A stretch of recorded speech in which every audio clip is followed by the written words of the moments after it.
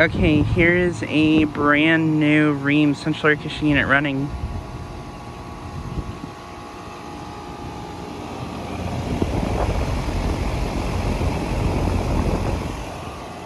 Just got this unit starting up.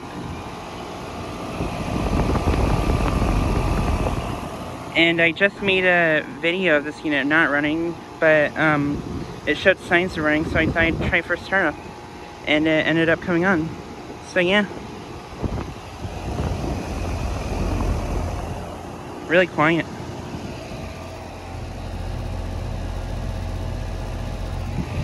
It is a 5 ton from 2023.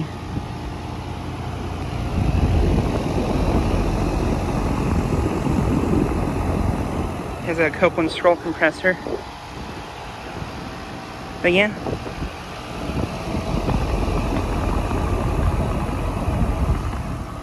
This replaced a 2002 Lennox unit, I believe.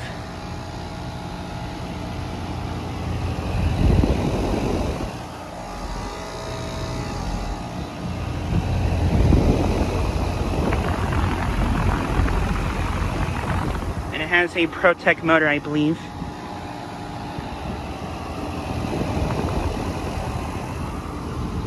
But yeah, just like a quick video this unit starting up and running.